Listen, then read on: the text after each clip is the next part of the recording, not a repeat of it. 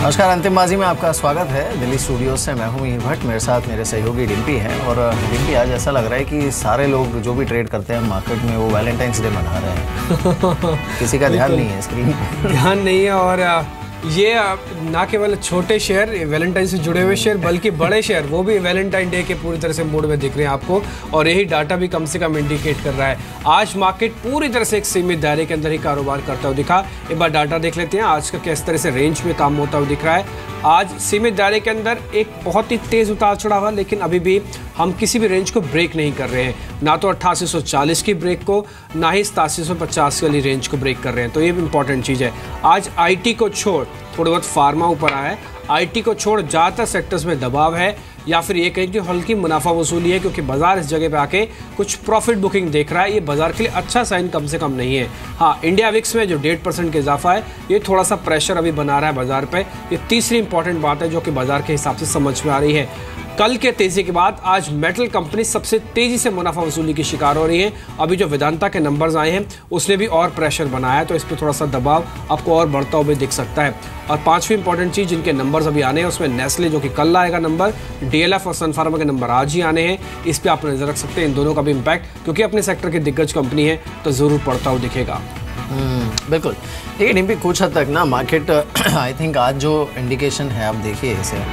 कुछ हद तक थोड़ा सा जिसे कहते हैं ना टिपिकली रिस्क ऑफ़ है हम्म। कि आपके दो तीन बड़े इवेंट्स निकल गए आरबीआई की पॉलिसी हम्म। थी बजट था वो सब निकल गया हाँ। जो अगला बड़ा ट्रिगर है वो चुनाव के नतीजे हैं जिसमें थोड़ा सा वक्त है अब क्यों फिर अग्रेसिवली इस समय आप ज़्यादा यू नो इस समय आउटस्टैंडिंग पोजीशंस क्रिएट करें या फिर बैट लें मार्केट पे जबकि आपको पता है कि ये बहुत जल्दी उस रेजिस्टेंस के जोन में जाने वाला है जहाँ से ऊपर मार्केट को निकलने के लिए एक बड़ा सा थ्रस्ट ज़रूरी होगा।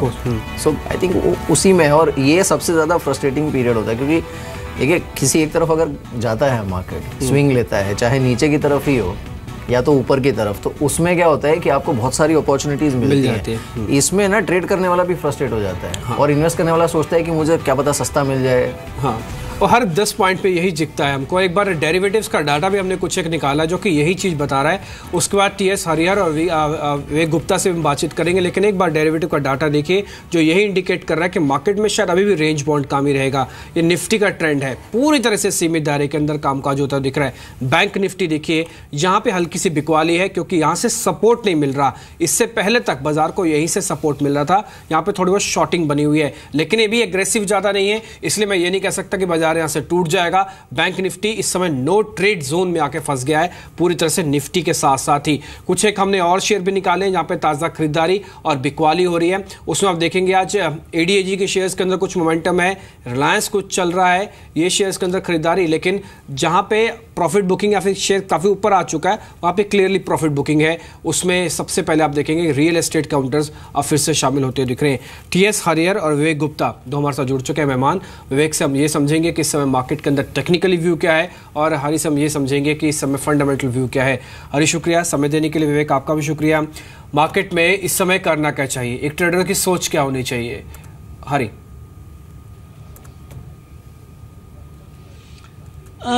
देखिए आई थिंक ये ये एक बहुत ही, जैसे मैं कहूँगा, एक लैकलिस्टर मार्केट है। और यू नो आप आप देखिए, सुबह से शायद यू नो निफ्टी प्रॉब्ली एक 10-15 पॉइंट के रेंज में घूम रहा है। तो I don't think you know as as a trader आपको कोई खास लीवे uh, मिलने वाला है।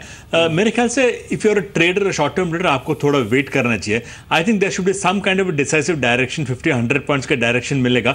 शायद से we could see a small correction of fifty hundred points मेरे ख्याल से you should use those lower levels to enter and start buying in the market मेरे मैं मैं नहीं मानता कि मार्केट में कोई अंडरलाइन ट्रेंड में चेंज हुआ है। मुझे तो अब भी मार्केट स्ट्रांग लग रहा है। पर आई थिंक शायद से जो हीट है वो जाने तो एक पचास सौ पॉइंट का करेक्शन आएगा निफ्टी में उसके बाद खरीद सकते हैं। बिल्कुल। चलिए आपने इनफैक्ट ये जो बात कही कि हो सकता है पचास सौ पॉइंट का स्विंग मार्केट किसी एक तरफ़ ले, इस पर बात करते हैं। मानस जायसवाल हमारे साथ जुड़े हैं, उनसे बात करते हैं। मानस, शुक्रिया हमारे साथ इस बातचीत में शामिल होने के लिए। अब यू नो ये जो स्विंग जिसकी अभी हरी बात कर रहे थे आई थिंक इसी का इंतज़ार है भी मार्केट को, क्योंकि ये इस तरह का दायरे में रहने वाला, लेकिन स्टॉक स्पेसिफिक बेसिस पे अगर आप देखें तो वॉलेटाइल मार्केट अब यू नो इसे नेविगेट करना थोड़ा डिफ़िकल्ट हो जाता है कई बार ट्रेडर के लिए। देखिए मेरा समझना ये है कि जो पिछले करीब सात आठ ट्रेडिंग सेशन से हम ट्रेंड देख रहे हैं वो एक रैली के बाद एक साइडवेज करेक्शन का ट्रेंड है। और एटी एट हंड्रेड के ऊपर डेफिनेटली वहाँ पर थोड़ा सा प्रॉफिट बुकिंग आ रहा है बट मैं समझता हूँ कि ट्रेंड अभी भी पॉजिटिव है और जब तक निफ्टी एटी सेवन हंड्रेड के ऊपर ट्रेड कर रहा है तब तक तो मैं समझता हूँ बिल्कुल डरने की ज़रूरत नहीं है। अपने जो आपके पास लॉन्ग पोजिशन है उसके स्टॉप लॉसेज एटी के नीचे लगाएँ। और जब भी कोई गिरावट इंटरडे सेशन में आए तो बिल्कुल वहाँ पर खरीदारी करें। मैं अभी भी समझता हूँ कि निफ्टी में जो पिछले हाइज है, उसको टेस्ट करने का पोटेंशियल है, जो कि एटी एटी नाइन सिक्सटी के आसपास है। तो बिल्कुल करंट लेवल्स पे निफ्टी पे खरीदारी करें और अपने स्टॉप लॉसेज 8700 के नीचे लगाएँ। ठीक है, जब इंडेक्स आपको प्ले ना दे रहा हो तो आपको बिल्कुल स्टॉक स्पेसिफिक हो जाना चाहिए। कुछ एक स्टॉक्स आज चल रहे हैं, उस पर समझते हैं करना का चाहिए। एम एम टी सी आज कई दिनों बाद फिर से शेयर चलता हुआ दिख रहा है। ये करीब साढ़े पाँच परसेंट अभी ऊपर है। एक बार विवेक इसका चार्ट देखिए। ये कैरी करने वाला शेयर है। या फिर ये मोमेंटम अभी फिजल आउट कर देगा खत्म कर देगा। दिल्ली जी मुझे लगता है स्टॉक डेफिनेटली कैरी आउट करने वाला है। एमएमटीसी ने डेली चार्ट में एक फ्लैट ठीक है। आपसे अभी बात नहीं हो पा रही कुछ टेक्निकल ग्लिचेस हैं। यही चीज़ मानस से पूछ लेते हैं। मानस आप एक बार चार्ट पे देख के बताइए। एमएमटीसी को होल्ड करें अगर कर लेते हैं तो स्टॉप लॉस क्या रख लें इसका? आ, बिल्कुल होल्ड कर सकते हैं। ज़रूर हमने पिछले करीब तीन से चार हफ़्ते में आ, एक करेक्शन देखा है बट वो वो करेक्शन एक एक अच्छी रैली के बाद देखने को मिला है क्योंकि चालीस रुपये से स्टॉक लगातार सत्तर रुपये तक के हाइज बनाए हैं उसके बाद। तो मैं समझता हूँ कि अब वो समय आ गया है कि एक बॉटम बनाने के बाद एक फिर से जो पिछले हाइज है उसको स्टॉक टेस्ट कर सकता है। तो मेरी राय में बिल्कुल यहाँ पर लॉन्ग बनाएँ। सेवेंटी थ्री रुपीज़ जो पिछले हाइज थे उसको टारगेट सेट करके चले और सिक्सटी टू रुपीज़ के नीचे अपना स्टॉप लॉस लगाए। चलिए तो 62 के नीचे आपको अपना स्टॉप लॉस रखना चाहिए। खैर चलिए, एक बार एक काम करते हैं। एन के कैश के गेनर्स को देखते हैं, जहाँ पर आज रुझान कुछ एक स्टॉक्स में अच्छा देखने को मिला है। And and more than that जहाँ पर सुबह से सस्टेन भी कर रहा है ट्रेंड तो सुबह ही हमने देखा था, आज जीवी के पावर पर अच्छा रुझान था, ये अभी भी होल्ड कर रहा है। करीब साढ़े दस परसेंट ऊपर ट्रिगर यहाँ पर जो मुंबई का नया एयरपोर्ट है, उसकी बोली इन्होंने जीती है, वो है उसका स्पिल ओवर जैकॉप पर जिनका वहाँ पर एस है, वो करीब साढ़े पाँच परसेंट ऊपर है। एम एम सुबह थी, सुबह से ही स्ट्रॉन्ग था, अभी भी करीब सवा पाँच परसेंट ऊपर। आज हमने रिलायंस इंडस्ट्रियल इंफ्रास्ट्रक्चर पर अच्छा मुँह देखा था। अब हालाँकि थोड़ा सा वो सॉफ्ट होते हुए। लेकिन जीवी के पावर और जैकॉप इस पर मानस क्या ट्रेड करना चाहिए? देखिए जीवी के पावर की जहाँ तक बात है एक inverse head and shoulder pattern दिखता है। जिसका जो नेकलाइन है वो करीब सात रुपये पचहत्तर पैसे के आसपास है। तो जो ओवरऑल पैटर्न है वो तो पॉजिटिव लगता है। हालाँकि आज इंटरडे सेशन में हमने हाई लेवल पे थोड़ा प्रॉफिट बुकिंग देखा। बट मैं समझता हूँ कि अभी भी स्टॉक में करीब नौ रुपये तक के लेवल्स को टेस्ट करने का पोटेंशियल है। तो जिस तरह की गिरावट आज इंटरडे सेशन में आई है, उस उस गिरावट में मैं समझता हूँ खरीदारी करनी चाहिए। सिक्स रुपीज़ थर्टी पैसा एक स्ट्रॉन्ग सपोर्ट है, क्योंकि वो दो सौ दिनों का मूविंग एवरेज है। तो उसके नीचे अपना स्टॉप लॉस रखें।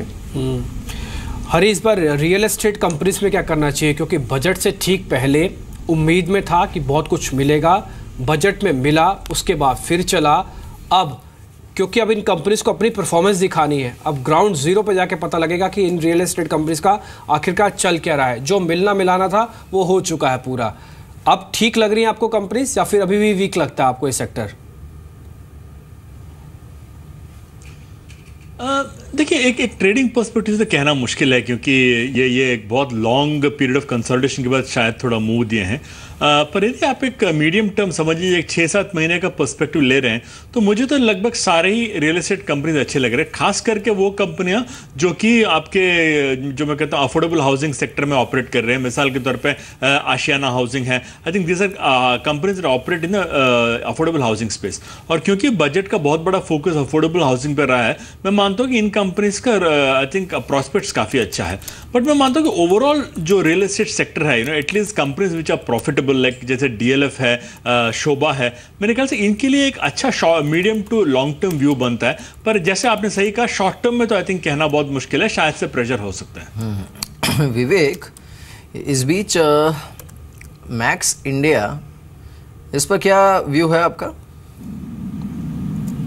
देखिए मैक्स इंडिया चार्ट्स पे काफ़ी अच्छा है। 152 के ऊपर डेली चार्ट से ब्रेकआउट हुआ था। मुझे लगता है यहाँ से 168 तक का लेवल देखा जा सकता है। इस पे बाई ऑन डिप्स की रणनीति रखनी चाहिए। 157 से लेकर 157.50 की रेंज में बाई करें।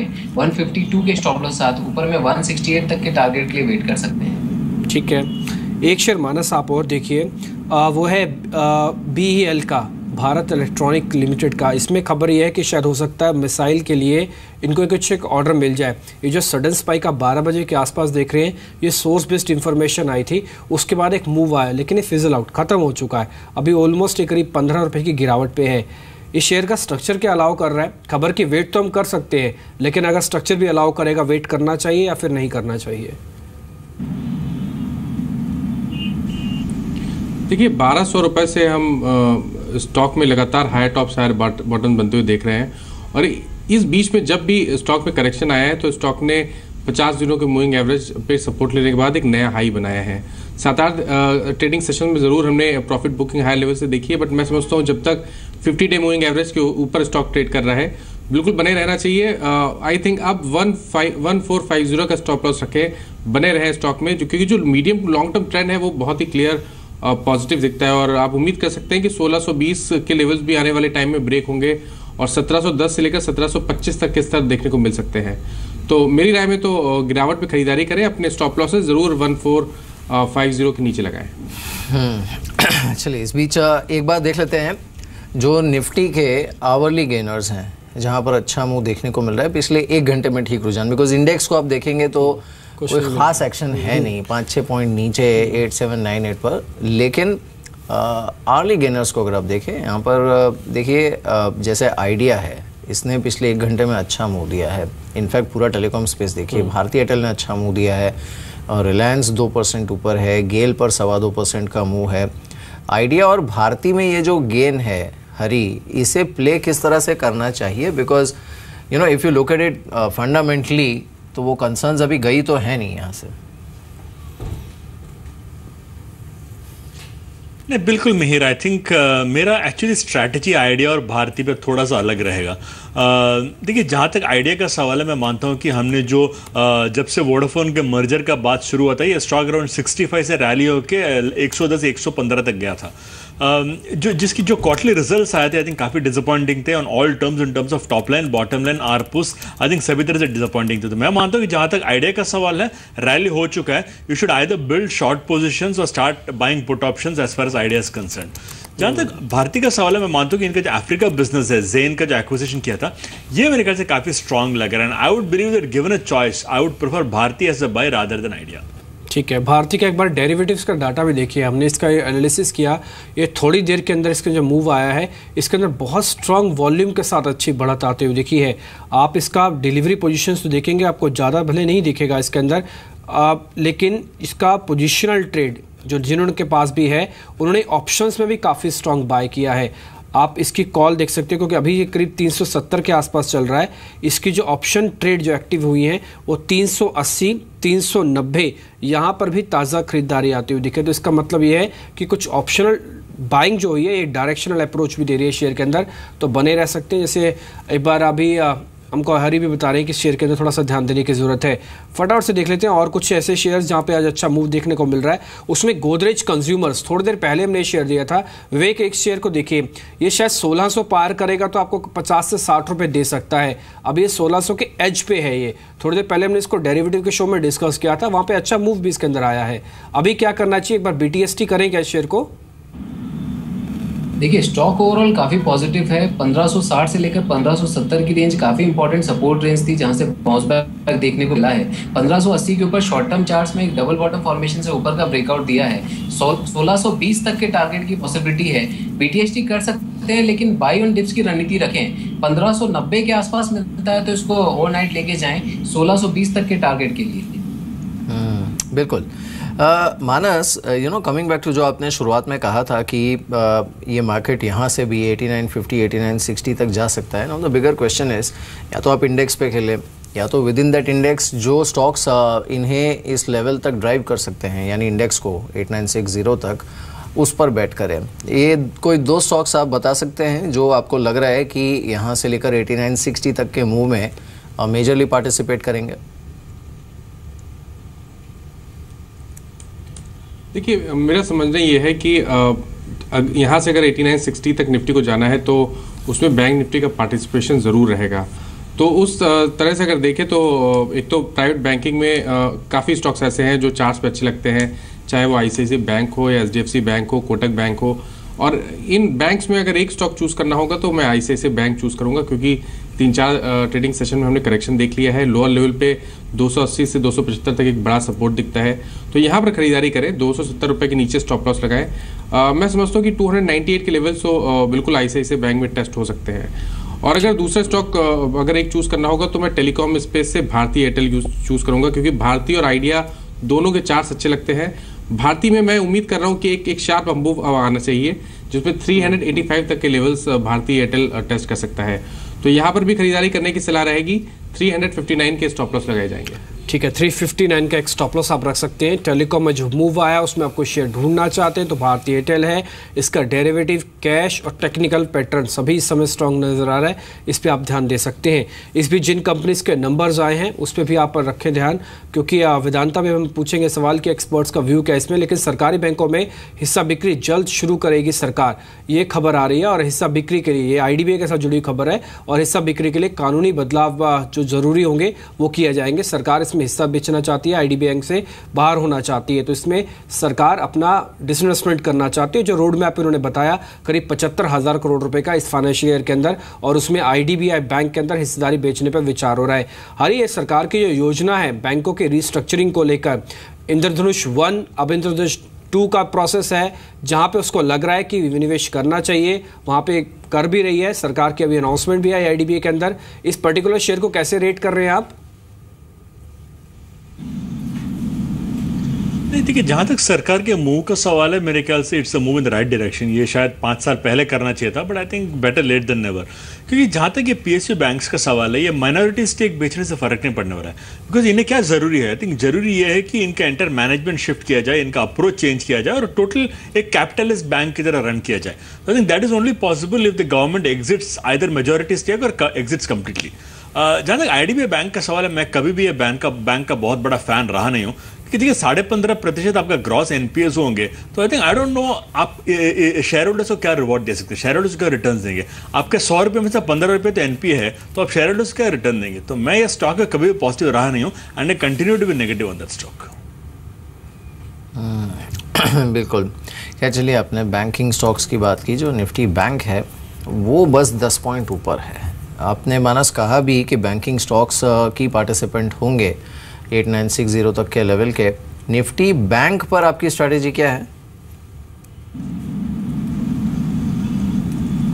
देखिए बैंक निफ्टी की जहाँ तक बात है बहुत सिमिलर पैटर्न जैसे निफ्टी पे कंसोलिडेशन देखा जा रहा है वैसे बैंक निफ्टी पे कंसोलिडेशन देखा देखा जा रहा है। जिस तरह का आउट परफॉर्मेंस हमने पिछले करीब दो मंथ में बैंक निफ्टी में दे, दे, देखा है वैसे मैं उम्मीद करता हूँ कि आने वाला जो एक मंथ होगा वहाँ पर भी हमें आउट परफॉर्मेंस देखने को मिलेगा। अगर एक टेक्निकल टारगेट सेट करने होंगे तो वो बारह हज़ार नौ सौ के रहेंगे। और मैं समझता हूँ कि अभी भी खरीदारी करने के मौके हैं उन्नीस हज़ार नौ सौ के स्टॉप लॉस के साथ। ठीक है। आज वेदांता के नंबर्स भी आए। इसके दो चीज़ें आप ज़्यादातर नोटिस करें। एक तो इसका अबीटा जो 5879 है वर्सेस बत्तीस करोड़ से। यानी कि अबीटा में ऑलमोस्ट डबल आता हुआ दिखा आंकड़ा। और इसका एक मुनाफा देखिए आप 412 करोड़ से अट्ठारह करोड़ आया। आपको ऐसा लग रहा होगा कि शेयर के नंबर्स तो काफ़ी अच्छे हैं अबीटा के और प्रॉफिटेबिलिटी के, लेकिन ये उम्मीद से कम थे। एक्चुअली इससे उम्मीद थी करीब ये 1990 करोड़ रुपए के आसपास का प्रॉफिट दिखाएगा, इसलिए शेयर के अंदर थोड़ा बहुत दबाव है। ये दबाव और कितना आ सकता है, ये समझते हैं। विवेक, एक बार टेक्निकल चार्ट पे देखिए नंबर्स आउट हो चुके हैं शेयर ने ज़्यादा रिएक्शन तो नहीं दिया। अब अगर आता भी है रिएक्शन तो किस तरफ़ का होगा?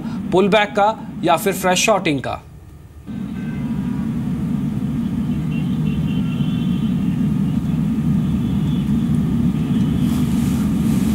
विवेक, सुन पा रहे हैं आप?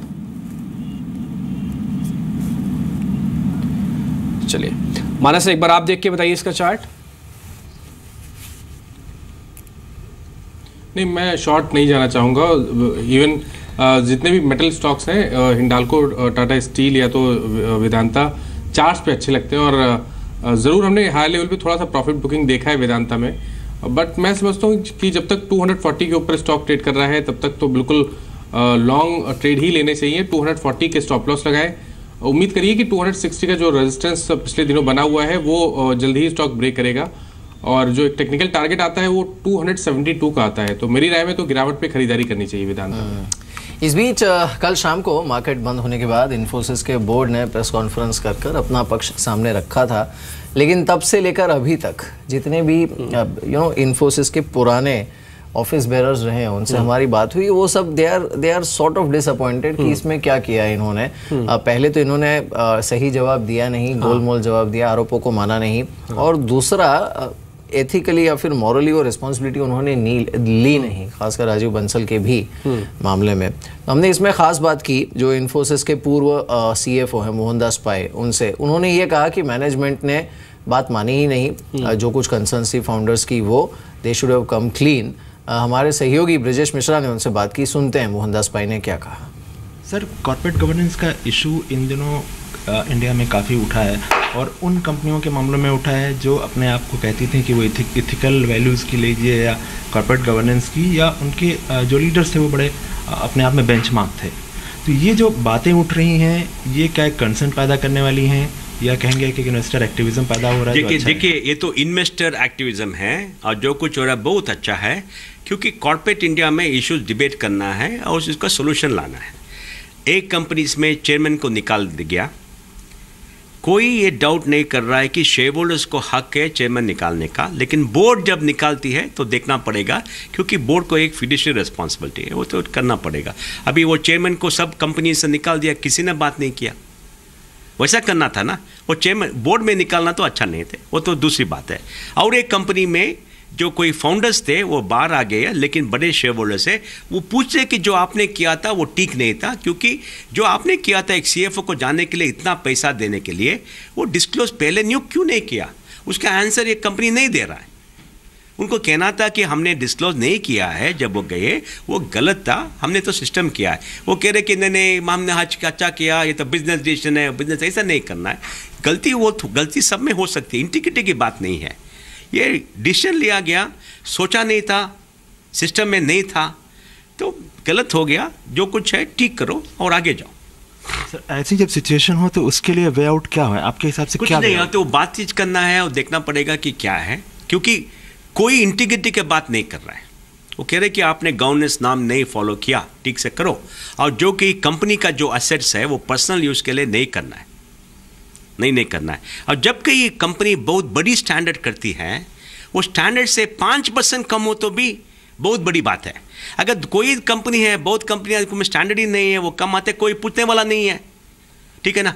बहुत कंपनियों में अगर आपके वाइफ को आप पैसा देते हो और उसको ट्रिप में लेकर जाते कोई पूछने वाला नहीं है। लेकिन थोड़े कंपनीज़ में जिसका स्टैंडर्ड बहुत बड़ा था, अगर कुछ हुआ तो लोग पूछते हैं, ठीक है। क्योंकि वो स्थिति से एक परसेंट भी नहीं आना है। यानी डिस्क्लोजर का सो ये जो बोन ऑफ़ कंटेंशन है वो दरअसल राजीव बंसल के सेवरेंस पैकेज को लेकर ही है। और भले ही अ, कल चेयरमैन ने ये कहा भी हो आर सी शाही ने कि इसके बाद आगे इस तरह की गलती नहीं होगी but that that doesn't undo जो ऑलरेडी हो चुका है। अच्छा मेरी एक चीज़ समझे कि जो क्लैरिफिकेशन आई है ये मैटर सॉल्व हो गया या फिर और बढ़ेगा? क्योंकि इन्वेस्टर जानना चाहता है actually I don't think basically ये होगा शायद कि पब्लिक डोमेन में बहुत ज़्यादा कुछ नहीं हो इसमें लेकिन फाउंडर्स जो हैं उनकी कंसर्न अभी तक जो वॉइसेस हैं या कमेंट्री है वो तो वही है that they are not impressed जो मैनेजमेंट ने किया है बोर्ड ने किया है उससे। लेकिन बोर्ड ने भी अपनी पोजीशन क्लियर कर दी है कि फ़िलहाल कोई किसी की एग्जिट होने वाली नहीं है बोर्ड से। सो आई थिंक इन्फोसिस कोई मेजर कॉन्ट्रीब्यूट कॉन्ट्रीब्यूशन वैसे भी आई डोंट थिंक करेगा आने वाले समय में भी। हरी इंडेक्स पर? नहीं बिल्कुल सहमत हूँ मैं Mihir. I don't think Infosys जो यू नो 10-15 साल पहले जो कंपनी था जो उसका एक यू नो मार्केट कैप में एक इम्पैक्ट था I don't think that impact is there any longer और इसके काफ़ी कारण हैं I think this is nothing to with corporate governance you know आप आप आप ट्रंप के अनाउंसमेंट्स uh, को लीजिए उनके वीज़ा रेस्ट्रिक्शंस को लीजिए no you take the border tax that is been propose ये सब ऐसे यू नो इवेंट्स हैं जो कि एक काफ़ी बड़ा पॉल ऑफ़ अनसर्टेनिटी लाते हैं over a company like Infosys दूसरी बात इन्फोसिस का जो मॉडल है पुराना model I think that is undergoing shift और जैसे विशाल सिक्का ने भी कल प्रेस कॉन्फ्रेंस में कहा कि their their main focus is transformation और उस पर काम चल रहा है और it is not a short term project it's a long term project तो मेरे ख्याल से अगले तीन चार साल तक I don't see Infosys giving any phenomenal returns और even making a phenomenal impact as far as the markets are concern इस बीच आज के जो टॉप लूजर्स हैं, वो ऑयल मार्केटिंग कंपनीज़ हैं, चाहे आप एच पी सी एल देखिए या फिर B P C L H P C L में तो नुकसान करीब छः परसेंट का है और बी पी सी एल भी करीब तीन परसेंट साढ़े तीन परसेंट की गिरावट के साथ ट्रेड कर रहे हैं। इस तरह का पाँच से छः परसेंट के कट पे आपको कुछ वैल्यू बाय दिख रहा है, Manas H P C L B P C L दोनों में या फिर अभी और लुढ़केंगे और टूटेंगे? देखिए एक, एक एक स्मार्ट रैली हम ऑलरेडी इन दोनों ही स्टॉक में देख चुके थे। एचपीसीएल की अगर बात करिए तो मेरे ख्याल से तीन या चार हफ़्ते में 425 वाला स्टॉक 575 तक चला गया। तो जो आज करेक्शन है वो तो बिल्कुल ऐसे करेक्शन आते रहेंगे जब भी कोई बड़ी रैली देखने को मिलेगी। बट ट्रेंड रिवर्सल की अगर बात करें तो मैं नहीं समझता कि ये ट्रेंड रिवर्सल के साइन है। मैं समझता हूँ कि ये केवल एक करेक्शन के शुरू होने के साइन है। और ये करेक्शन हो सकता है कि पाँच सौ तक चला जाए क्योंकि पाँच सौ रुपये फिफ्टी डे मूविंग एवरेज है। तो ऐसी रैली के बाद हम एक ऐसा करेक्शन बिल्कुल देखते हैं और ऐसे करेक्शन में फ़िलहाल के लिए अगर आपका टाइम फ्रेम बड़ा हो तो ट्रेडर्स को तो बिल्कुल नहीं यहाँ पर ट्रेड लॉन्ग ट्रेड लेना चाहिए बट अगर आपका नज़रिया सिक्स मंथ्स और उससे ज़्यादा हो तो बिल्कुल गिरावट पे खरीदारी करें, थोड़ा इंतज़ार करें। पॉसिबिलिटी है कि एक बार fifty day moving average test करेगा तो पाँच सौ रुपये के आसपास आएगा। तो वो एक बहुत ही बढ़िया लेवल होगा जहाँ पर आपको लॉन्ग बनाने हैं। आप उम्मीद करिए कि वापस हमें करीब 600 और 625 तक के स्तर एचपीसीएल में देखने को मिल सकते हैं आने वाले आठ से दस मंथ पे। हम्म, इस बीच एक बार रिलायंस इंफ्रास्ट्रक्चर का इंट्राडे चार्ट देखते हैं। काउंटर इस समय साढ़े चार परसेंट ऊपर है यानी करीब चौबीस रुपये का मुँह। यहाँ पर रिलायंस इंफ्रास्ट्रक्चर का फ़िलहाल 560 पर आ, ये ट्रेड कर रहा है। और इनफैक्ट आप अब देखिए बस शुरुआत कैसे सॉफ्ट हम्म। हुई थी? और उसके बाद इस समय कैसे इंट्राडे हाई पर ये काउंटर है। साथ ही ए ग्रुप के बाकी स्टॉक्स को भी अगर आप देखेंगे तो यहाँ पर भी मूव अच्छा है। रिलायंस कम्युनिकेशन करीब ढाई परसेंट ऊपर है। रिलायंस कैपिटल इंट्राडे हाई पर करीब सवा दो परसेंट ऊपर है। Reliance Defence on the contrary आज थोड़ा सॉफ्ट हम्म। हुआ है। जब इंट्राडे हाई जो हिट किया था वहाँ से। यूजली ऐसा होता नहीं है कि मार्केट के अंदर हाँ। ठहरा और एडीएजी के शेयर्स चल रहे हों। लेकिन मानस रिलायंस इंफ्रास्ट्रक्चर पर क्या सलाह होगी आपकी? देखिए ये डिस्क्लोजर है कि BTST में हम लोगों ने रिलायंस इंफ्रा भी पिक किया है। और आ, मैं समझता हूँ कि एक से दो दिनों में रिलायंस इंफ्रा छः सौ रुपये तक के लेवल्स को टेस्ट कर सकता है। तो बिल्कुल खरीदारी करने की सलाह रहेगी। बहुत ही क्लियर ब्रेकआउट और वो वहाँ पर भी बहुत ही बेहतर वॉल्यूम देखने को मिले हैं। तो ये तो एक बहुत क्लियर कट क्लीन बाय दिखता है। मैं समझता हूँ कि फाइव हंड्रेड फोर्टी रुपीज़ के स्टॉप लॉस लगाए और कम से कम छह सौ रुपए तक के टारगेट सेट करके चले जो कि आने वाले दो दिनों में आ, मैं उम्मीद करता हूँ कि रिलायंस इंफ्रा टेस्ट करेगा। ठीक है एक और चीज़ है रिलायंस कम्युनिकेशन हरी इस पर आपकी रिकमेंडेशन चाहिए क्योंकि कंपनी का खुद से बयान ये आ रहा है कि 2018 तक वो अपना जो टोटल डेट है उसको 70 परसेंट हटा देगी ख़त्म कर देगी। वो एयरटेल के साथ 51 परसेंट हिस्सेदारी बेच सकती है। कनाडा की जो कंपनी है ब्रुकफील्ड, उसके साथ आगे बढ़ रही है। सिस्टमा शाम टेली सर्विसेज़ का इनका करार पूरा हो गया, जो कि मार्च तक पूरा हो जाएगा, कंप्लीट हो जाएगा। और एयरसेल का जो मर्जर है, वो भी अब बहुत तेज़ी से आगे बढ़ रहा है। एक लीगल पेज फंस गया था, वो शायद पूरी तरह से क्लियर हो चुका है। ये जो सत्तर परसेंट घट जाएगा डेट, ये अपने आप में री रेटिंग वाली सिचुएशन तो हो सकती है ना रिलायंस कम्युनिकेशन में। भले बहुत कुछ रहेगा नहीं हाथ में, लेकिन being as a listed company जो भी रहेगा, वो इस वैल्यूएशन पे जस्टिफाइड है या फिर और ऊपर आएगा ये?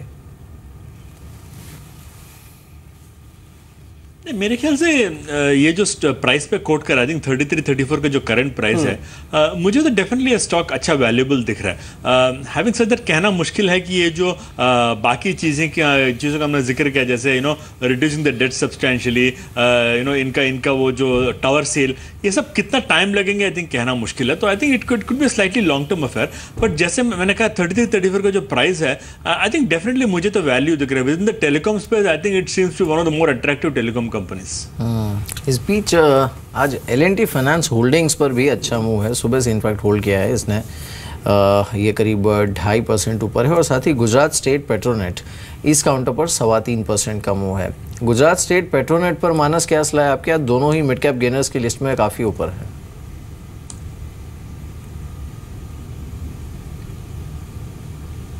देखिए जीएसपीएल की जहाँ तक बात है हाई टॉप हायर बॉटम बहुत क्लियर दिख रहे हैं। 140 से स्टॉक लगातार हाई, टॉप हायर बॉटम बना रहा था।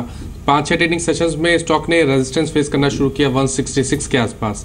आज ये रेजिस्टेंस ब्रेक हुए हैं, बेहतर वॉल्यूम देखने को मिल रहे हैं चार्ट्स पे। तो मैं समझता हूँ जो हायर टॉप हायर बॉटम का ट्रेंड है, ये अभी कंटिन्यू रहेगा। अगर एक टेक्निकल टारगेट सेट करें तो 177 तक के टारगेट्स आते हैं।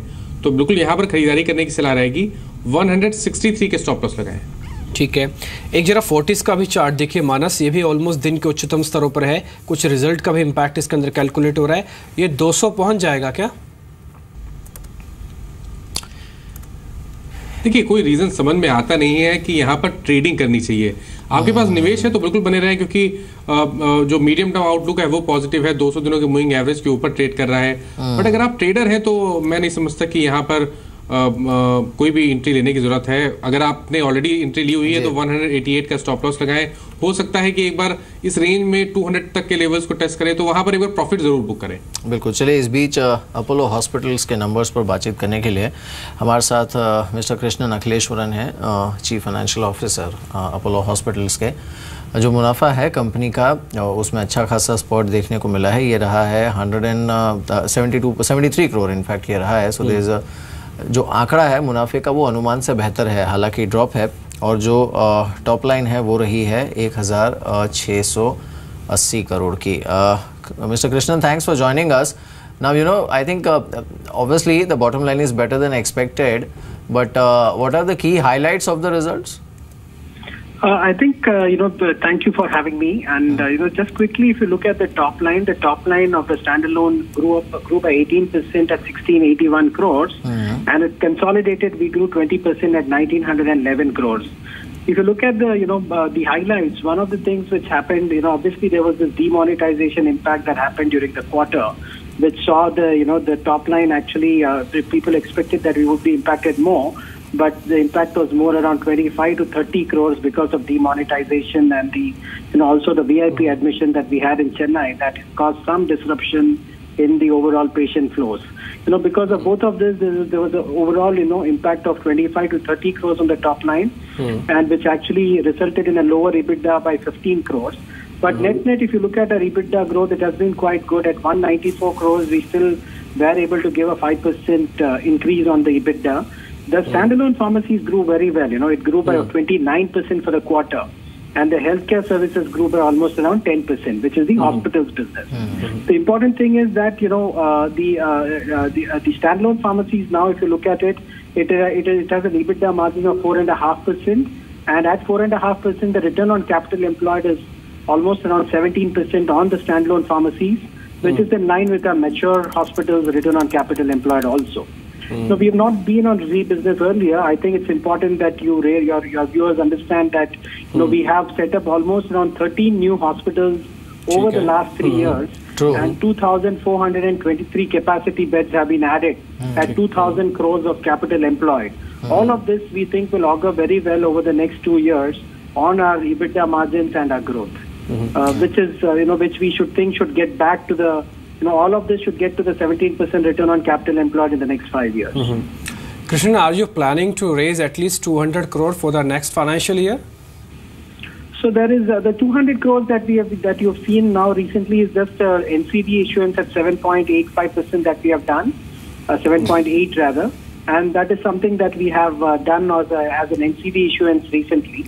But if you look at the capex plans, mm. you know most of our big capex is behind us now barring one new, uh, you know, cancer hospital which we are planning, which is a, you know, international cancer hospital that we are planning in Chennai mm-hmm. with the proton therapy treatment, which is one of the best treatments available in the world. Mm-hmm. Uh, you know, we are not uh, planning any more capex at this point in time in the next two years.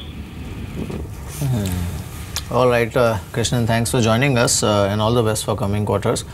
Apollo Hospital इस समय अच्छी strength दिखाते हुए अरे आप track करते हैं क्या? अपोलो हॉस्पिटल्स और इनफैक्ट फोर्टिस के भी अभी भी नंबर्स आए इन दोनों पर आपका व्यू क्या है?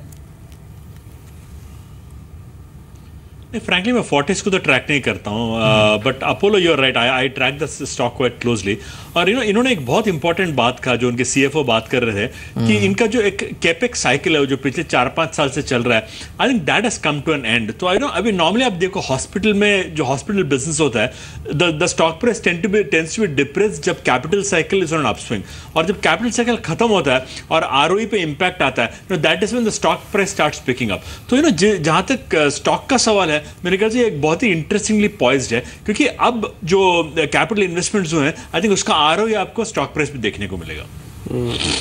कुछ एक ऐसी कंपनीज़ भी है मिड कैप स्पेस में, जहाँ पे काफ़ी स्ट्रांग मूव देखने को मिल रहा है। उसमें वैंकीस अब फिर से तेज़ी से ऊपर आ रहा है, और ये आज भी करीब पाँच परसेंट की बढ़त के साथ ट्रेड कर रहा है, आठ सौ इकतीस के रेट पे। एक बार मानस, आप बताएँगे, तीन दिन से एक्चुअली ये शेयर चल रहा है। हम हर रोज़ पूछ रहे हैं, हर रोज़ शेयर चल रहा है। आज फिर से पूछ रहे हैं, कल फिर से चलेगा क्या? देखिए तीन हफ़्ते में फाइव हंड्रेड से स्टॉक एट हंड्रेड फिफ्टी हो गया है तो जो प्रॉफिट है वो प्रोटेक्ट रहे। और क्योंकि एक, वोलेटाइल स्टॉक ऑलरेडी है और एक हम बड़ी रैली देख चुके हैं। तो मेरी राय में स्टॉप लॉस रिवाइज करके 775 कर लेना चाहिए। 810 के एक टारगेट आते थे जिसको ऑलरेडी वो अचीव करके ऊपर जा चुका है। तो अब यहाँ पर टेक्निकल टारगेट देना थोड़ा सा मुश्किल है। इस बीच और एक F M C G Nestle के नंबर्स रिपोर्ट होने वाले हैं। और उम्मीद क्या है नेस्ले से या फिर डीमोनेटाइजेशन का इम्पैक्ट कितना और कैसा पड़ा है, ये बताने के लिए पूजा हमारे साथ मौजूद हैं। पूजा, बताइए। जी जैसा कि आपने कहा नेस्ले के जो नतीजे होंगे उस पर नोटबंदी का काफ़ी असर पड़ेगा। इसलिए बिक्री में का, काफ़ी बड़ी रेंज है जिसमें कि जानकार बिक्री में बढ़त की उम्मीद बता रहे हैं कि कुछ कुछ जानकार मान के चल रहे हैं कि शायद 25 से 26 परसेंट की ग्रोथ रहेगी। कुछ जानकार मान के चल रहे हैं कि मामूली 15 से 16 परसेंट की बढ़त देखने को मिलेगी। जो हमारा पोल निकल कर आया है उसके मुताबिक सोलह परसेंट की बढ़त कंपनी की बिक्री में देखने को मिल सकती है। लेकिन जो बिक्री को सहारा मिलेगा वो मैगी से मिलेगा। पोस्ट क्राइसिस के के बाद जो भी दिक्कतें थी कंपनी के लिए मैगी के फ्रंट पर, वो ऑलमोस्ट ख़त्म हो चुकी है और वहाँ से सपोर्ट मिलेगा क्योंकि कंपनी ने काफ़ी सारे नए वेरिएंट्स भी लॉन्च किए हैं मार्केट में। तो उससे एक सपोर्ट मिलने की बात की जा रही है, लेकिन वहीं दूसरी तरफ़ कंपनी ने उस पर एडवर्टीजमेंट एक्सपेंसिस भी काफ़ी किए हैं तो वहाँ पर एक बढ़ोतरी देखने को मिलेगी और रॉ मटेरियल कॉस्ट भी कंपनी के बढ़े हुए रहेंगे। तो खर्च, बढ़े हुए खर्चों की वजह से कंपनी के जो मार्जिन है, वहाँ पर कहीं ना कहीं इम्पैक्ट देखने को मिल सकता है। इसके अलावा मुनाफे में हमारा अनुमान है कि करीब चौदह के आसपास की बढ़त नेस्ले के फिगर्स में देखने को मिल सकती है। ठीक है नेस्ले पे अनुमान आपने बताया यहाँ पे तो थोड़ा सा हालाँकि मैगी का असर तो नहीं पड़ेगा, लेकिन कुल मिला के कुछ एक नए वेरिएंट ये लॉन्च कर सकते हैं, ये बेनिफिट आ सकता है। रॉ मटेरियल जो लागत है, वो थोड़ी सी बड़ी है तो प्रेशर दिखेगा आपको, हो सकता है मार्जर्स पे थोड़ा। हरी आप इस शेयर को ट्रैक करते हैं नेस्ले को। नहीं बिल्कुल आई थिंक uh, uh, पिछले एक डेढ़ साल में इसका काफ़ी एक uh, जैसे उनका वॉलेटाइल जर्नी रहा है। हमने मैगी पे बैन देखा डेढ़ साल पहले फिर I think the company has come out of it you know मैं मैं एक बात कहना चाहूँगा यू नो जहाँ तक मेरा अंडरस्टैंडिंग है डिमोनिटाइजेशन का ये फ़ूड प्रोडक्ट कंपनीज़ पे ज़्यादा असर नहीं किया है। मिसाल के तौर पे अब दो दिन पहले ब्रिटानिया के रिजल्ट्स देखिए।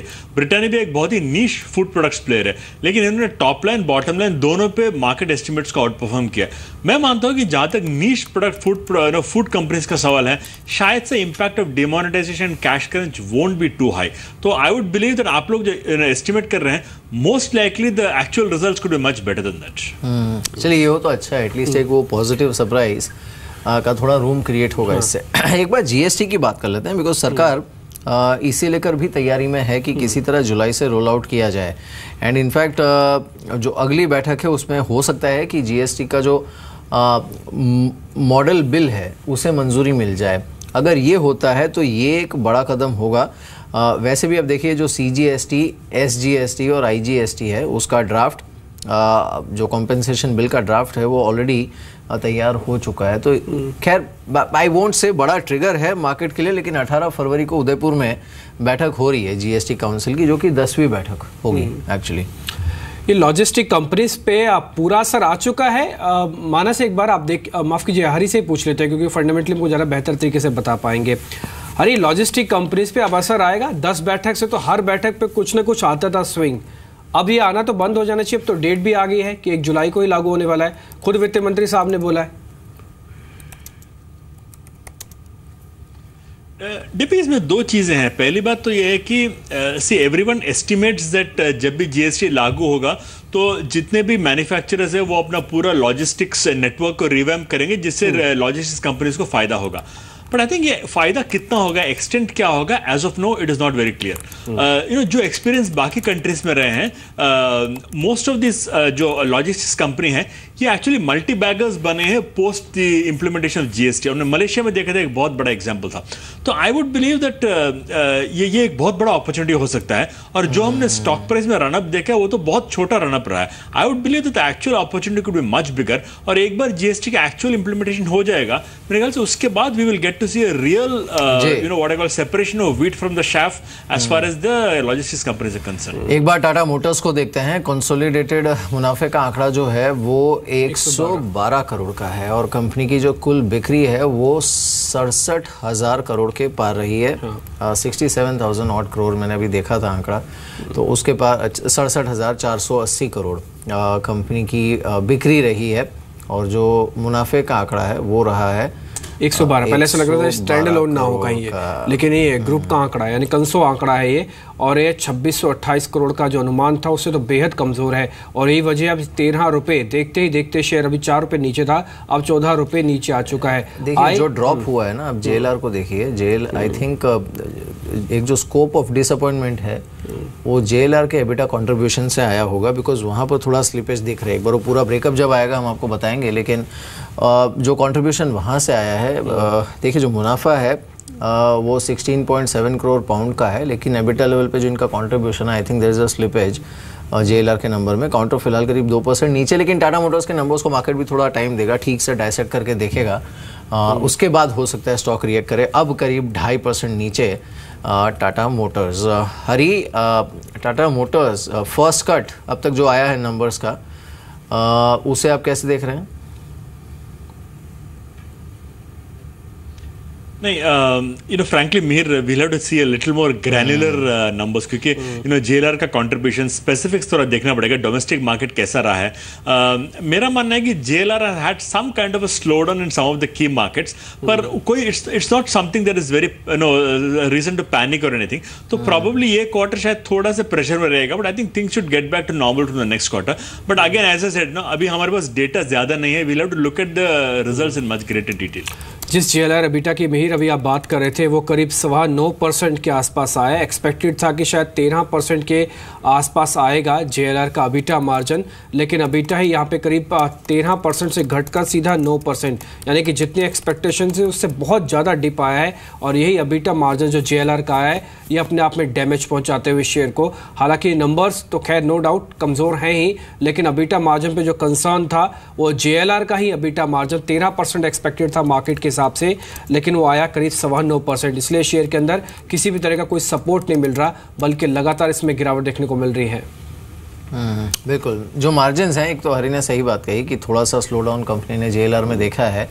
आई थिंक इनके कुछ मॉडल्स रिकॉल भी हुए थे। अब ये अगर इन्होंने कोई one off cost factor in की है तो देखना पड़ेगा। संदीप हमारे साथ इनफैक्ट नंबर क्रंचिंग के लिए हैं इस समय मौजूद। संदीप फाइन प्रिंट क्या है? क्या कह रहे हैं नंबर्स देखिए जेएलआर इनका सबसे बड़ा रेवेन्यू कंट्रीब्यूटिंग और प्रॉफिटेबिलिटी कंट्रीब्यूटिंग फैक्टर रहता है और वहाँ से इस बार अगर आप देखें तो जो मार्जिन्स हैं वहाँ पे ज़रूर जो इम्पैक्ट है वो देखने को मिला है। अगर आप बिड्डा की बात करें तो 61 करोड़ के आसपास के नंबर्स देखने को मिले हैं। 83.4 करोड़ के, मुक- के मुकाबले। और जो रिटेल बिक्री है वो महज साढ़े बढ़ी है। जो हमारा अनुमान था उसमें हमारा ऐसा अनुमान था कि जो जेएलआर के वॉल्यूम्स हैं वो फ्लैट रहे हैं। तो हो सकता है ये जो नंबर्स जिस तरह के देखने को मिल रहे हैं उसमें जेएलआर के जो वॉल्यूम्स हैं उसमें भी शायद एक डिप देखने को मिला है। डिटेल्स देखने होंगे लेकिन हाँ शुरुआती जो आंकड़े नज़र आ रहे हैं उसके मुताबिक जेएलआर के जो वॉल्यूम्स हैं उसके ऊपर हिट देखने को मिला और उसके साथ साथ जो उनके मार्जिन है उसके ऊपर भी इम्पैक्ट देखने को मिला जिसकी वजह से ओवरऑल देखें तो जो मुनाफे में एक बड़ा डिप इस बार देखने को मिला सक, मिला है। हो सकता है कि एक वन टाइम लॉस भी इस बार नंबर्स में हो क्योंकि ज़्यादातर स्ट्रीट के जो एनालिस्ट है वो करीब तीन हज़ार करोड़ रुपए के आसपास के जो नंबर्स है प्रॉफिटेबिलिटी के फ्रंट पे एक्सपेक्ट कर रहे थे। हमारा अनुमान था करीब सत्ताईस करोड़ रुपए के आसपास का मुनाफा कंपनी डिलीवर करेगी। 112 करोड़ रुपए के आसपास के जो नंबर्स आए हैं तो ज़ाहिर सी बात है एक तो जेलआर का परफॉर्मेंस खराब रहा है और साथ ही साथ एक बड़ा वन टाइम हिट शायद इस कंपनी ने लिया जिस वजह से नंबर इतने खराब अनुमान के मुताबिक देखने को मिल रहे हैं। इस बीच अब देखिए जो मार्जिन है आप जेएलआर के भी देखिए और कंसोलिडेटेड मार्जिन भी देखिए दोनों में I think there is a slippage हमारे साथ निपुण मेहता जुड़े हैं, उनसे बात करते हैं। निपुण, शुक्रिया हमारे साथ इस बातचीत में शामिल होने के लिए। Thanks for joining us so I know you want talk stock specific लेकिन यू नो टाटा मोटर्स या फिर ऑटो स्पेस में अब तक जिस तरह के नंबर्स आए हैं, अब टाटा मोटर्स में एटलीस्ट ये तो क्लियर है कि जो मार्केट का एस्टिमेट था और एक्सपेक्टेशन थी, उससे तो स्लिपेज देखने को मिला है ठीक ठाक but overall you know Maruti या फिर टाटा मोटर्स परफॉर्मेंस इनका जिस तरह का रहा है क्यू थ्री में uh, आप कैसे समअप करेंगे इसे निपुण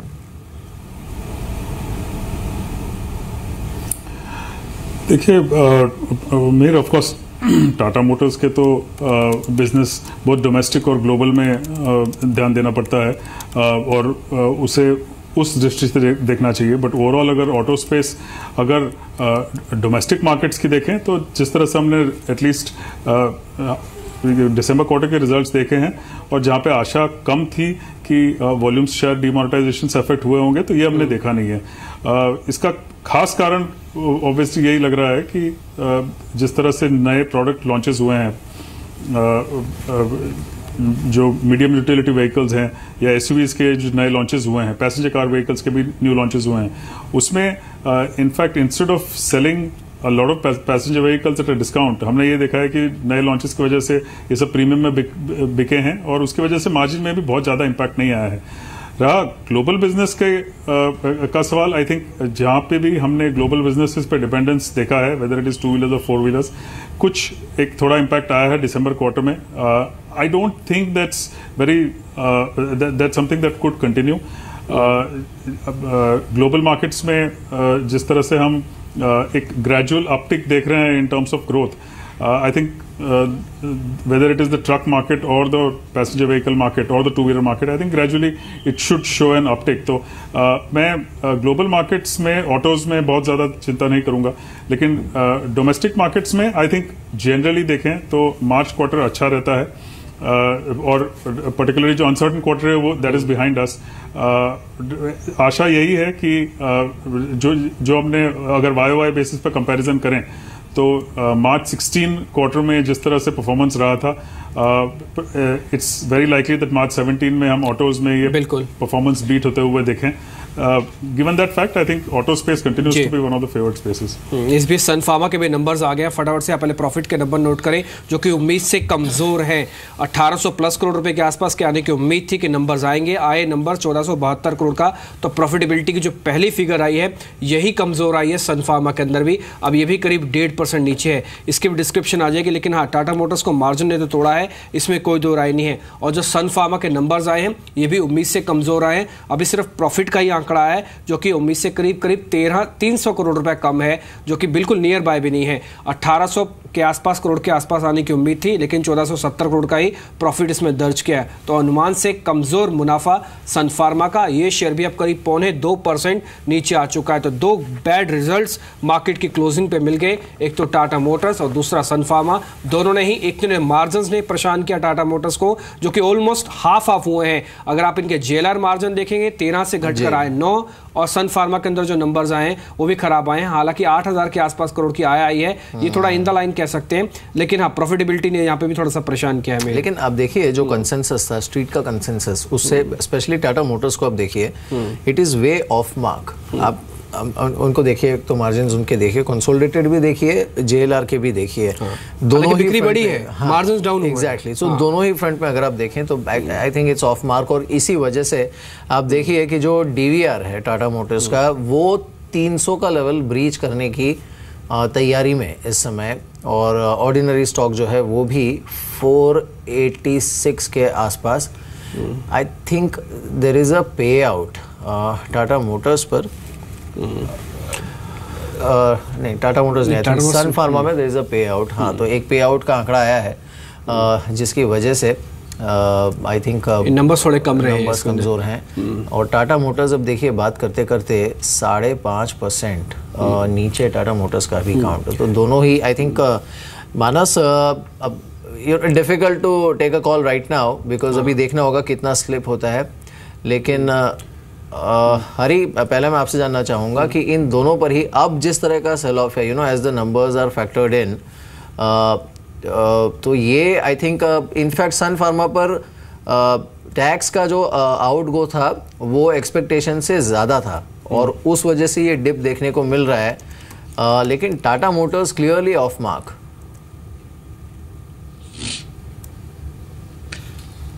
नहीं बिल्कुल I think in Sun Pharma's case I think we had expectations that pressure आएगा क्योंकि उनका आई थिंक यूएस बिज़नेस थोड़ा प्रेशर है। There is been a pressure in currency translation तो सन फार्मा में आई थिंक उम्मीद की जा रही थी कि there could be some kind of slippages but Tata Motors you know जैसे मैंने कहा we knew that there are some problems as far as JLR sales are concern पर मुझे ये नहीं मालूम कि problem is with the estimates और प्रॉब्लम इज़ द परफॉर्मेंस पर डेफिनेटली जहाँ तक मुझे दिखता है एस्टिमेट्स और परफॉर्मेंस में काफ़ी बड़ा गैप है। और आज के मार्केट में इतना बड़ा गैप जनरली मार्केट्स के स्टॉक के लिए काफ़ी नेगेटिव होता है। यूजली जब भी ऐसे एक खबर आई कि वन ऑफ़ है, इसके अंदर सन फार्मा के अंदर इसने थोड़ा सा पुल बैक दिखाया है, क्योंकि जो प्रॉफिट आपको कम दिख रहा है, वो एक वन ऑफ़ की तरह है। टैक्स खर्च इनका इक्यासी से सीधा साढ़े तीन सौ करोड़ है, और ये ही प्रेशर थोड़ा बना रहा है प्रॉफिटेबिलिटी पर। इसके अंदर थोड़ा सा मूव हमको वापस आते हुए दिखा है। विवेक, एक बार आप टेक्निकली देखिए, क्योंकि सन फार्मा में शायद पुल बैक आ जाए, क्योंकि ये खबर आने के बाद इसमें वन ऑफ़ है तो शायद लॉस आपकी फिगर जो रिफ्लेक्ट कर रही है, वो एक्चुअली दिख नहीं रही है उसमें थोड़ा एडजस्टमेंट है। तो एडजस्टेड फिगर ठीक ठाक हो सकती है। एक बार सन फार्मा ऊपर आ सकता है क्या? डिम्पी जी अगर ओवरऑल ट्रेंड देखें तो ट्रेंड बियरिश ही है। मुझे लगता है अगर ऊपर भी आता है तो सेल की रणनीति रखनी चाहिए। 650 से लेकर 651 की रेंज में फिर से स्ट्रॉन्ग रेजिस्टेंस आएगा। नीचे में 630 तक के लेवल्स मैं एक्सपेक्ट कर रहा हूँ इसमें। चलिए इस बीच सन फार्मा की और फाइन प्रिंट लेकर संदीप हमारे साथ जुड़े हैं। संदीप बताइए।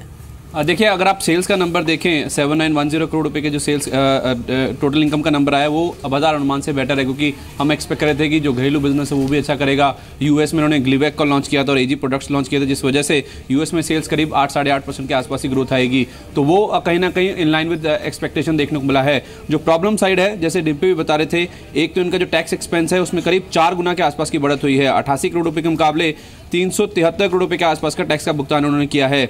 थोड़ी सी जो इनकी फाइनेंस कॉस्ट है, उसमें भी इजाफा देखने को मिला है। एक सौ सत्ताईस करोड़ के मुकाबले एक करोड़ के आसपास की फाइनेंस कॉस्ट देखने को मिली है। और अगर आप अबिड्डा लेवल पे देखें तो इनका जो एम्प्लॉय कॉस्ट है, उसमें भी इजाफा देखने को मिला है। एक ग्यारह करोड़ रुपए के मुकाबले बारह करोड़ रुपए के आसपास के जो नंबर्स है, वो देखने को मिले हैं। तो ऑपरेशनली अगर आप देखें तो नंबर्स में कोई भी खराबी नहीं नज़र आ रही है। केवल अगर आप देखें, थोड़ी सी फाइनेंस कॉस्ट में इंक्रीज देखने को मिला और टैक्स का जो कंपोनेंट है, उसमें एक एक्सपोनेंशियल इंक्रीज देखने को मिला करीब चार गुना के आसपास का। जिस वजह से आप देखिए, मुनाफा जो है, हमारे अनुमान से कम देखने को मिला है। अगर आप टैक्स के फिगर को एडजस्ट कर दें तो मुनाफा मोर लेस इनलाइन या तो फिर बेटर देन एक्सपेक्टेड नज़र आएगा। और यही कारण है कि आप देख रहे हैं कि शेयर में लो लेवल से रिकवरी देखने को मिली है। तो ओवरऑल देखा जाए तो ऑपरेशनली नंबर्स में सनफार्मा की कोई भी दिक्कत नज़र नहीं आ रही। केवल टैक्स का फिगर है, जिसकी वजह से मुनाफे में एक जो डेंट है, वो देखने को मिला है। बिल्कुल शायद यही वजह है कि अब सिर्फ़ गिरावट पौने एक परसेंट की रहेगी पहले सवा दो परसेंट तक टूट गया था, लेकिन इसने अच्छा शार्प पुल बैक दिखाया सनफा में।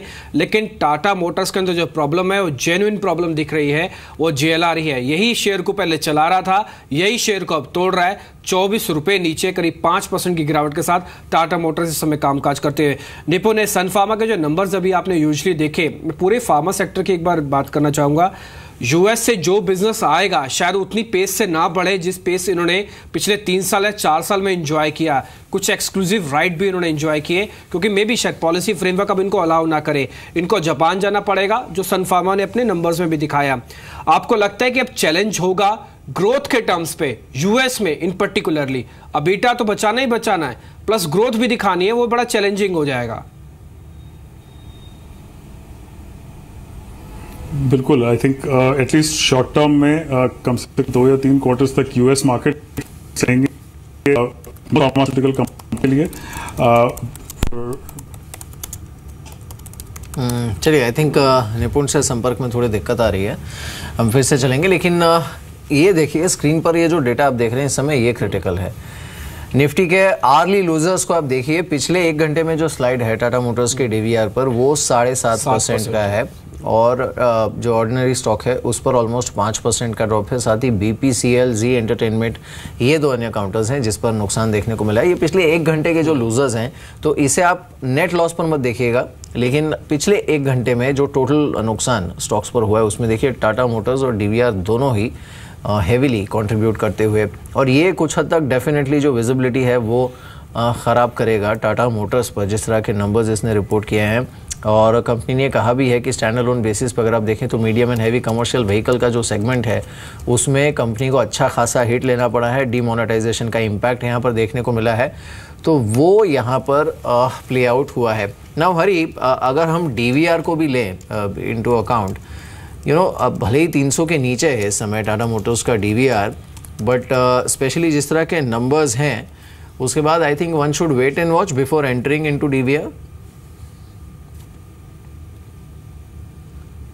नहीं, बिल्कुल आई थिंक जो ओवरऑल टाटा मोटर्स का स्टोरी है we have to probably understand this a little better you know ये जो ये जो स्लो डाउन हुआ है जेएलआर में, क्या ये एक टेम्पररी वन ऑफ़ एक्टिविटी है या it could sustain for two और थ्री क्वार्टर्स मेरे ख्याल से we need to understand that और मेरा अंडरस्टैंडिंग है कि ये ये जो प्रेशर है, शायद से दो या तीन क्वार्टर्स तक रह सकता है। तो प्रॉबेबली योर प्राइस जो टाटा मोटर्स का प्राइस जो अभी फोर सेवेंटी के आसपास है it could come under further pressure by about eight to ten percent तो मैं मानता हूँ if you want to buy the stock wait for some time let us be clear that the pressure is not one off it is there for few more quarters and then we can take call the stock इस बीच no doubt अलग अलग stocks पे तो खैर असर पड़ ही रहा है और टाटा मोटर्स नीचे, इस बीच गोदरेज को भी आपको देखना होगा, इसके भी ये नंबर्स हैं। और इसके अंदर हमने देखा है कि थोड़ा सा प्रेशर तो पड़ता हुआ दिखाई है। इसके मार्जिन करीब 9 परसेंट के आसपास आए हैं गोदरेज के। और इस पर आपकी रिकमेंडेशन क्या है? हरी, आप गोदरेज को कैसे देखते हैं? नहीं we have liked Godrej traditionally हमको लगता है कि जो गोदरेज यू नो जो बिज़नेस सेगमेंट में ऑपरेट करता है यू नो जो काइंड ऑफ़ ब्रांड इक्विटी वो लोग ने बिल्ड किया we definitely like this company I think overall ये सेगमेंट थोड़ा प्रेशर में आई थिंक डिमोनिटाइजेशन का इम्पैक्ट पड़ा है तो काफ़ी हद तक ये सेक्टर प्रेशर में बट मुझे लगता है कि any dips should probably be an opportunity buy this stock बिल्कुल। चलिए, इस बीच देख लेते हैं कि ओवरऑल रुझान इंडेक्स पर कैसा है। निफ्टी तेरह पॉइंट नीचे एट सेवन नाइन वन के लेवल पर लेकिन ये डेफिनेटली जिसे वो डीमोनेटाइजेशन का एक स्पीड ब्रेकर कहते हैं वो डेफिनेटली टाटा मोटर्स पर देखने को मिला है। कंपनी ने खुद ये माना है कि डीमोनेटाइजेशन का इम्पैक्ट हुआ है। बाकी लूजर्स में बीपीसीएल है Hero MotoCorp H U L UltraTech Cement A C C Bajaj Auto ये कुछ काउंटर्स हैं जिस पर लाल निशान देखने को मिला है। टर्नओवर एक बार देख लेते हैं। आज जिस तरह का टर्नओवर देखने को मिला है बिकॉज़ जो इंटरनेशनल क्यूज थे वो भी कोई खास सपोर्टिंग नहीं था मार्केट के लिए ना हमारा मार्केट थोड़ा स्ट्रगल कर भी रहा है इन नंबर्स के आसपास। तो देखिए करीब तीन लाख पाँच हज़ार करोड़ के आसपास का टर्न ओवर देखने को मिला है। कुड हैव बीन बेटर अगर आप इसमें बी का एफ़ जोड़ भी लें तो भी उसे कहीं बीस पच्चीस हज़ार करोड़ शायद ऐड हो जाएगा। लेकिन आप देखिए यूरोपियन मार्केट्स भी कितने फ्लैट इस समय। कोई भी मार्केट इस समय जिसे हम कहते हैं कि रुपए में दस पैसे का मुँह भी हाँ, दिखाने को तैयार नहीं है इस समय। तो ये आई थिंक कंसर्न थोड़ी रहेगी मार्केट के लिए। ऐसे में कल का ट्रेड भी मुझे लगता है इसी तरह रहेगा। डीला रहने तो तैयार हो जाइए कल का ट्रेड आपको कोई काम हो तो आप स्क्रीन पर सौदा करके आप चले भी जा सकते हैं। आपको हम्म। वापस आएँगे वही रेट दिख जाएगा। हाँ इंडेक्स का। शेयर का नहीं इंडेक्स का नतीजा नहीं है हाँ अगर शेयर है तो उसका रिज़ल्ट भी चेक कर लीजिए रिज़ल्ट ना जैसे टाटा मोटर्स पाँच परसेंट पैसा उड़ जाएगा दस ही मिनट में अगर आपने गलत शेयर पर बैटिंग करोगे। तो इसलिए थोड़ा बिज़नेस आप बने रहें। आपको लगातार हम बता रहे हैं कि नंबर्स कैसे रह सकते हैं। नेस्ले के नंबर्स भी आपने देखे, जहाँ पर प्रॉफिटेबिलिटी थोड़ी बढ़कर रहने वाली है। इस बीच कुछ एक और शेयर जहाँ पे आज प्रेशर देखने को मिला क्योंकि लास्ट में मार्केट अट्ठासी सौ का शायद होल्ड करने में थोड़ी सी तकलीफ़ दे रहा है। इसके क्योंकि एडवांस डिक्लाइन के हिसाब से भी आपको 30 शेयर गिरावट के साथ ही दिख रहे हैं। बीपीसीएल भी आज टूट रहा है। एच दोनों ही शेयर्स के अंदर आज तेज़ गिरावट आई और वीकली अब मंथली के हिसाब से भी देखें डाटा कमज़ोर हुआ है। डेरिवेटिव्स का डाटा भी कमज़ोर हुआ और साथ ही साथ आवरली बेसिस पर भी शेयर टूटते हुए दिख रहे हैं। एक हीरो मोटोकॉप के अंदर भी करीब दो परसेंट के आसपास की गिरावट यहाँ पे देखने को मिल रही है। अरे, हीरो मोटोकॉप इकतीस के रेट पे महँगा है। एक और शेयर आपके साथ जोड़ता हुआ है, मारुति। ये छः हज़ार पे ये भी महँगा है क्या? क्योंकि दोनों ऑटो के अपने अपने सेगमेंट में लीडर हैं। एक टू व्हीलर में, एक फोर व्हीलर में। देखिए जहाँ तक हीरो होंडा का सवाल है इन पे जो डिमोनेटाइजेशन का इम्पैक्ट पड़ा था वो काफ़ी हद तक ज़्यादा पड़ा है। क्योंकि ये एक एंट्री लेवल प्रोडक्ट है और एक रूरल प्रोडक्ट भी है। काफ़ी हद तक यू नो हीरो होंडा का जो इंक्रीमेंटल डिमांड है वो रूरल एरिया से आता है। तो I think Hero Honda has been bad lead और हमने ये वाले क्वार्टर में ये भी देखा है कि नंबर्स पे काफ़ी इम्पैक्ट पड़ा है। मारुति मेरे ख्याल से is a much better bet मेरा only concern is that stock is rally too much तो will it be little cautious on that absolutely चलिए इस बीच साढ़े आठ परसेंट नीचे टाटा मोटर्स का डीवीआर नंबर्स पर बातचीत करने के लिए क्विकली हमारे साथ अश्विन पाटिल मौजूद हैं। Ashwin very quickly since we are heading into market closing Tata Motors is way off mark दो की हाइलाइट्स क्या रही है इस रिज़ल्ट की? And now what is your view on the stock सबसे पहले तो हाईलाइट यही रही है कि ब्रेक्सिट की वजह से जो GBP Great Britain British pound में जो डिप्रिसिएशन हुआ है ये क्वार्टर में, उसका नतीजा हम साफ़ साफ़ देख रहे हैं इसके रिजल्ट्स के ऊपर, जिसमें जेएलआर के जो प्रॉफिटेबिलिटी मार्जिन है वो काफ़ी नीचे आए हैं। मतलब आ, हमें नहीं लगा था कि दस टके के नीचे भी जा सकते हैं जेलर के मार्जिन हमें तो लग रहा था कि तेरह टक्का तक आ जाएगा बारह तेरह टक्का तक ठीक है। लेकिन दस टके के नीचे जो मार्जिन था है वो काफ़ी डरावने लग रहे हैं। हम्म। और हमें तो मतलब हमारा जो टारगेट है वहाँ से तो अभी डेफिनेटली कट करना पड़ेगा टारगेट हम सिक्स हंड्रेड प्लस के ऊपर टारगेट लेके चल रहे थे अब तक। लेकिन इसके चलते हमें कुछ देखना होगा कि अभी आगे कैसे नंबर्स आते हैं। बिल्कुल तो थोड़ा अनचार्टेड टेरिटरी में जाते हुए अश्विन शुक्रिया अप्रिशिएट योर फीडबैक लेकिन तो जो स्टर्लिंग पाउंड का जो स्लाइड था ब्रेग्जिट के बाद का उसने मार्जिन्स को मार्जिन्स को यहाँ पर हिट किया है जेएलआर के और काउंटर फ़िलहाल अच्छा खासा नुकसान लेकिन 600 का टारगेट लेकर ही चल रहे थे तो वहाँ से अच्छा खासा स्लाइड मार्केट क्लोज होने वाला है। 17 पॉइंट नीचे निफ्टी 8787 के लेवल पर इस समय ट्रेड कर रहा है। दो बुरी खबरें आ गई स्पेशली टाटा मोटर्स का जो नतीजा था वो मार्केट के एस्टिमेट से कहीं नीचे निकला और उसका सीधा इम्पैक्ट यहाँ पर देखने को मिला। सो इंडेक्स लेवल पर भले ही फ्लैट लग रहा हो मार्केट इस समय लेकिन हाँ निफ्टी के लूजर्स में आप देखिए सडनली ये दोनों ही टाटा मोटर्स और डीवीआर दोनों हैवी सेल ऑफ़ देखते हुए ओवरऑल भी अगर हम देखें मार्केट की ब्रेथ नेगेटिव ही रही। बढ़ने वाले काउंटर्स थी उनकी संख्या 500 थी, नुकसान वाले काउंटर्स की संख्या 1049 के आसपास तो हर एक बढ़त वाले काउंटर के सामने कम से कम दो काउंटर्स ऐसे थे जो कि नुकसान के साथ, और ये जो नेगेटिव रिज़ल्ट का इंपैक्ट आप देखिए Shiva Moto, Repco, Home Finance H P C L N M D C apart from Tata Motors ये ऐसे स्टॉक है जहाँ पर नतीजों का नेगेटिव इम्पैक्ट देखने को मिला है। आज बज जिन स्टॉक्स पर था वॉल्यूम्स के साथ बिकवाली थी, इसमें Dishman Pharma Axiscades Engineering Man Industries Dynamatics ये कुछ काउंटर्स हैं जिस पर नुकसान देखने को मिला है। रिज़ल्ट का पॉजिटिव इम्पैक्ट देखने को मिला इसमें CNC construction NCL limited Pitti lamination MMTC ये काउंटर्स ऐसे रहे जहाँ पर अच्छा मुँह था और सुबह से ही ठीक मुँह देखने को मिला था। और पीएसयूज को अगर हम देखें जो बजिंग स्टॉक्स हैं पीएसयूज की लिस्ट आज काफ़ी लंबी रही। चाहे वो एस टी सी हो S J V N G S P L ये कुछ काउंटर्स रहे जहाँ पर आज अच्छा रुझान देखने को मिला।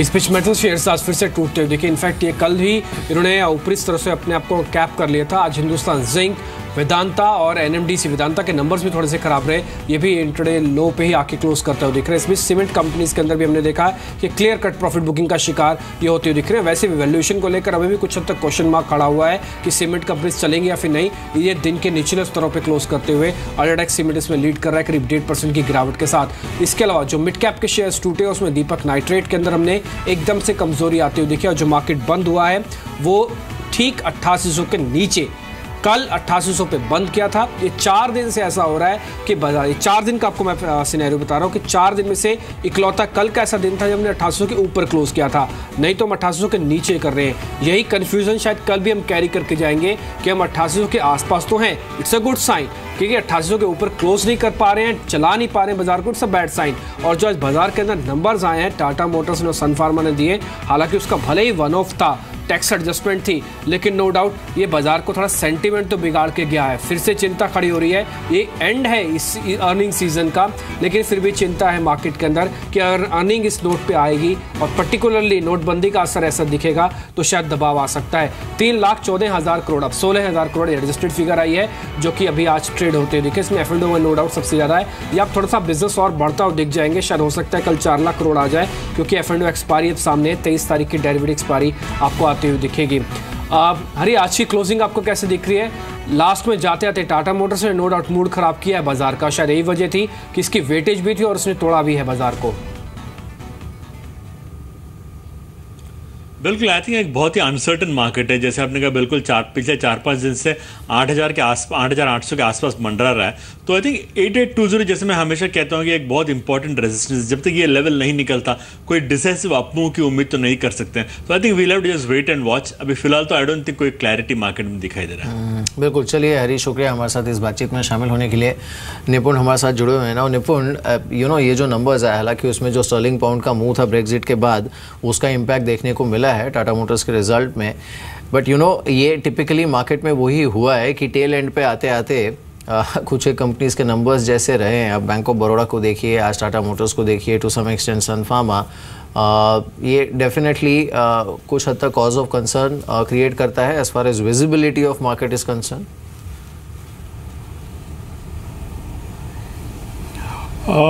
मेर ट्रेडिशनली हर एक क्वार्टर में आप रिज़ल्ट देखोगे तो इनिशियल रिजल्ट्स बहुत अच्छे आते हैं, जो फैग एंड में रिजल्ट्स आते हैं, उनमें ज़रूर एक मिक्स्ड बैग रिज़ल्ट आता है। अगर दिसंबर क्वार्टर के रिजल्ट्स देखें तो to an extent there been a mixed bag but in a lot of cases जहाँ पे आशा थी कि नोटबंदी की वजह से नेगेटिव इम्पैक्ट आएगा, उसमें हमने इम्पैक्ट नहीं देखा है।